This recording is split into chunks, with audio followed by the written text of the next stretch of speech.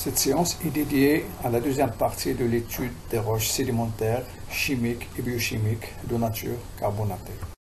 Comme rappel, les roches carbonatées sont des roches constituées en majeure partie du minéral de carbonate de calcium CaCO3, avec un pourcentage qui dépasse euh, les 50%. Une roche carbonatée est constituée généralement de trois phases. La première, ce sont les éléments figurés, donc ce qu'on appelle les halochèmes. La deuxième, ce sont les vides ou les pores. La troisième, c'est la, la gangue ou le lion, ce qu'on appelle un orthochème.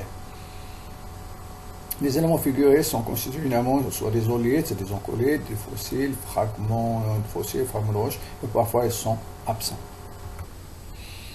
La roche carbonatée peut avoir euh, une origine chimique est due à la précipitation directe des minéraux carbonatés dans un milieu saturé, en CO2+, et CO3 de moins et d'autres ions, ou une origine biochimique due à l'accumulation sur place des minéraux carbonatés sous l'action des organismes vivants.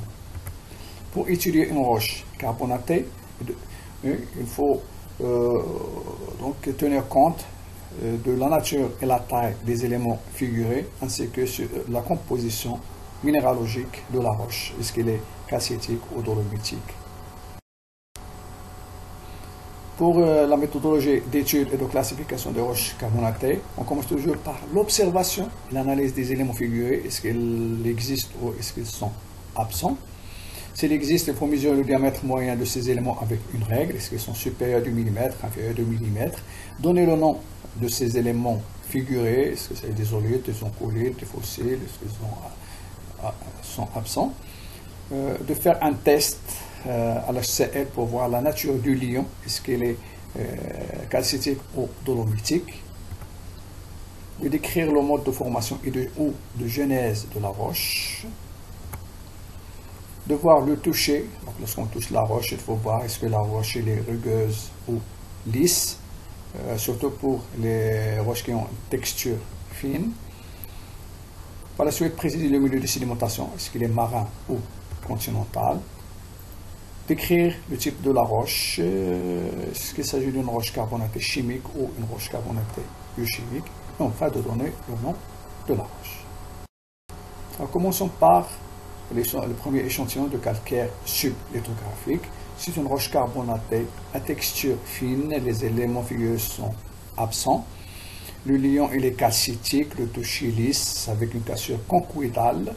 Donc cette euh, roche se forme dans un milieu euh, marin calme par précipitation chimique de CaO3 soluble dans l'eau. Donc euh, ce qui confère à cette roche un, caractère chimique de nature carbonatée. Deuxième échantillon de dolomie, donc, euh, cette roche est, secondaire, rarement primaire. Donc euh, elle est plus ou moins cristallisée due à la transformation de calcaire en dolomie par le phénomène de dolomitisation. Elle est due au remplacement d'une partie, c'est-à-dire un remplacement partiel de la calcite par de la dolomite lors du processus de diagénèse. Donc les dolomites, euh, sont des roches diagénétiques. Cependant, elle peut être primaire, dans quelques cas, issue de la précipitation directe de la dolomite, euh, et notamment au niveau des lagunes côtières des zones à climat chaud. Donc le milieu, le de sédimentation généralement c'est marin, ah, avec, euh, un, toucher rugueux. Le, lion généralement il est dolomitique, donc euh, il fait l'effervescence à chaud avec HCl. Cette roche est une roche sédimentaire chimique de nature carbonate. Pour les marnes, euh, ce sont des roches tendres euh, qui constituent 35 à 65% de calcite et le reste, euh, ce sont des argiles. On peut dire que c'est une roche mixte, une partie carbonatée et une partie détritique. Le lion, il est calcitique. Le toucher, généralement, il est lisse, c'est dû à la présence des argiles. Il se dépose dans un milieu calme, euh, généralement marin, mais parfois euh, on peut les trouver au niveau du milieu continental. Cette roche est une roche euh, sédimentaire, chimique, carbonatée avec un apport détritique argileux.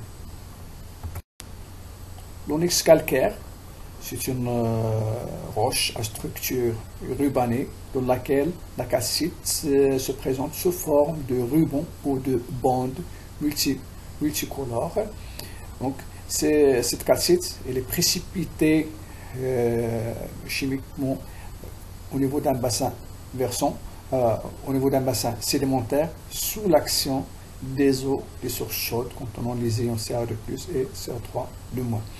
Cette roche se forme au, niveau du milieu purement continental et particulièrement au niveau des sources hydrothermales ou les sources d'eau chaude. Cette roche est une roche euh, sédimentaire chimique de nature carbonatée. Le dernier échantillon, c'est du calcaire croûtant c'est une roche euh, à aspect laminé ou concrétionné, ce qu'on appelle les concrétionnements carbonatés. Il forme un paléosol à la surface euh, des continents. Donc, euh, cette roche se dépose à la surface des continents ou à la surface des sols et des roches dans les, régions à climat aride. Donc, c'est un témoin de l'aridité du climat. le milieu de, sédimentation est purement continentale et la roche c'est une roche sédimentaire chimique de nature carbonatée. Donc euh, sur au niveau de la figure, on a deux parties. Une partie basale, c'est la roche mère, donc euh, dans ce cas-là, elle est dolomitique. Et la partie supérieure, c'est l'encroûtement calcaire ou le calcaire encroûtement. Donc euh, toujours l'eau chargée en carbonate s'infiltre au niveau d'une roche ou d'un sol. Et par la suite, suite à l'évaporation, donc les carbonates se précipitent au niveau de la porosité de la roche et par la suite, peu à peu, on aura un remplacement de la roche mère par les carbonates, par les concrétionnements, ce qui, rend cette euh, roche, euh, c'est une roche résiduelle. Et merci